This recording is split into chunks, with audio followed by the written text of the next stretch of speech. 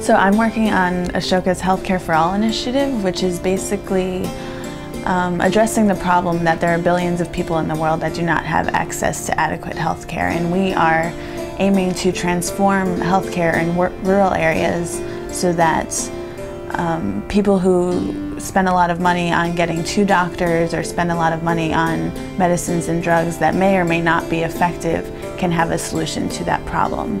And in doing so, we're creating an ecosystem that's combining citizen sector organizations, commercial businesses, and the capital markets so that um, collaboratively we can reached kind of the last mile of healthcare. To do so, we're combining new advanced technologies that will enable you to have a diagnostic test for $2 um, with an e-health services um, system that can automate the process and basically bring the doctor to the village through a video conference so that a patient can talk to a doctor right there and they won't have to travel. We're also combining that with clean water technology so that people can come and get clean water for maybe a penny a day and also their, their medicines or their, you know, be tested for malaria or dengue fever if need be.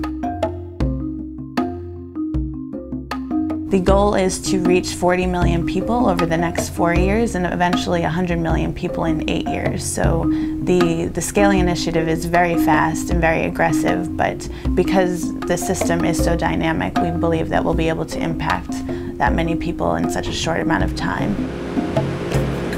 one of the reasons Ashoka is interested in trying to do something in healthcare is our belief in bringing the world's people into full economic citizenship. Because most poor people, in fact, don't get good health care and they have to pay for what they get out of their own pocket.